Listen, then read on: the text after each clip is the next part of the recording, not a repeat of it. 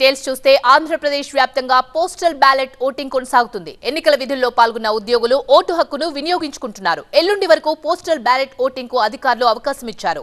ఉదయం తొమ్మిది గంటల నుంచి సాయంత్రం ఐదు గంటల వరకు పోస్టల్ బ్యాలెట్ ఓటింగ్ కొనసాగనుంది. కడప జిల్లాలో ఇరవై మూడు వేలకు పైగా పోస్టల్ బ్యాలెట్ ఓట్లు ఉన్నాయి. పులివెందల నియోజకవర్గం వ్యాప్తంగా రెండు వేల తొంభై రెండు మంది ఉద్యోగులు పోస్టల్ బ్యాలెట్ను వినియోగించుకోనున్నారు. ఇవాళ పద్దెనిమిది వందల రెండు పీఓ ఏపీఓలు ఓటు హక్కు వినియోగించుకున్నారని చెప్పారు పులివెందుల ఎన్నికల రిటర్నింగ్ అధికారి వెంకటేశ్వర్లు. అంబేద్కర్ కోనసీమ జిల్లాలో ఏడు పోస్టల్ బ్యాలెట్ కేంద్రాలను ఏర్పాటు చేశారు. జిల్లాలో పదిహేను వేల ఎనిమిది వందల అరవై బ్యాలెట్ ఓట్లు ఉన్నాయి అమలాపురం నియోజకవర్గం పరిధిలో రెండు వేల నాలుగు వందల డెబ్బై ఆరు మంది ఓటు వేయనున్నారు.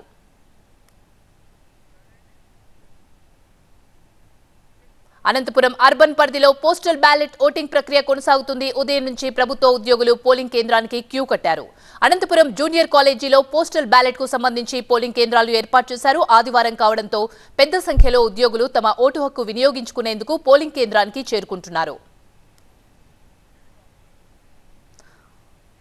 అనంతపురం అర్బన్లో పోస్టల్ బ్యాలెట్ ఓటింగ్కు సంబంధించి మరిన్ని వివరాలు మా సీనియర్ కరెస్పాండెంట్ నరేష్ అందిస్తారు.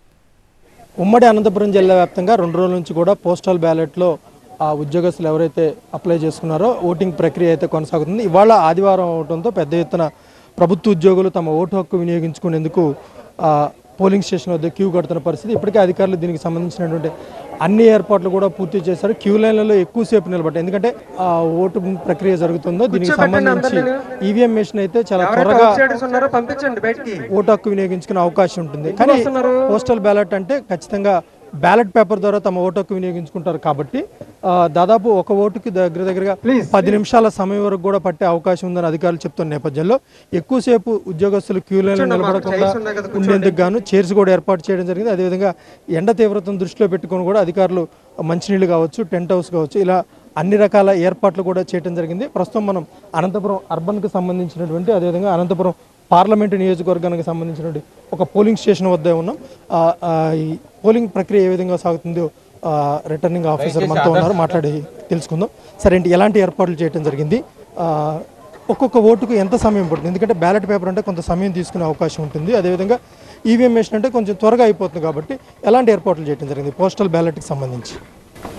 మనకి మొత్తం మన ఇక్కడ అనంతపురం అర్బన్ కాన్షియన్స్ సంబంధించి చూసుకుంటే మనకి ఐదు వేల ఐదు వందల మంది ఉన్నారు. పీఓస్ అవ్వచ్చు ఏపీఓస్ అవ్వచ్చు అదర్ పోలింగ్ స్టాఫ్ ఎవరైతే అవ్వచ్చు వీళ్ళందరూ కలిపి మనకి ఐదు వేల ఐదు వందల మంది ఉన్నారు. అలాగే అదర్ డిస్టిక్ నుంచి ఎవరైతే అదర్ డిస్టిక్లో ఉండి for example East Godavari Nandyal Kurnool అక్కడి నుంచి ఎవరైతే అనంతపురంలో వర్క్ చేస్తూ ఉంటారో వాళ్ళు వచ్చి మనకి దాదాపు నైన్ ఫిఫ్టీ మెంబర్స్ ఉన్నారు. వీళ్ళు టోటల్ వచ్చేటప్పటికి మనకి six thousand four hundred members ఉన్నారు. ఇక్కడ మనకు ఫైవ్ థౌజండ్ ఫైవ్ ఈ అనంతపురం అర్బన్ కాన్షియన్స్ సంబంధించిన అంతా కూడా ఇక్కడ అరేంజ్మెంట్ జరిగినాయి అన్నీ కూడా. మిగతా నైన్ ఫిఫ్టీ సంబంధించింది PD drama hall. RDO office పక్కన అనంతపురం ఆర్డీఓ ఆఫీస్ పక్కన డ్రామా హాల్లో అరేంజ్ చేయడం జరిగింది.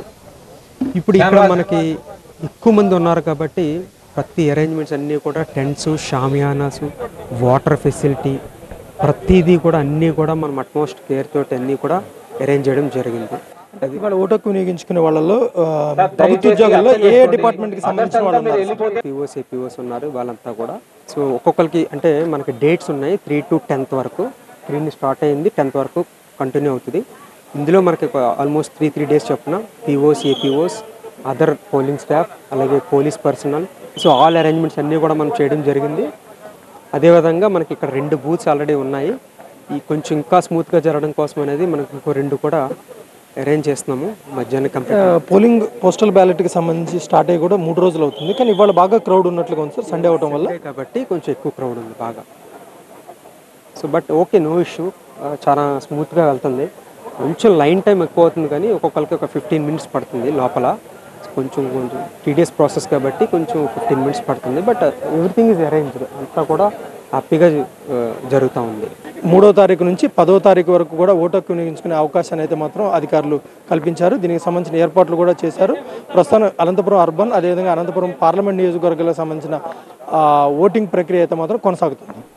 కెమెరా పర్సన్ విజేత నరేష్ టీవీ నైన్ అనంతపురం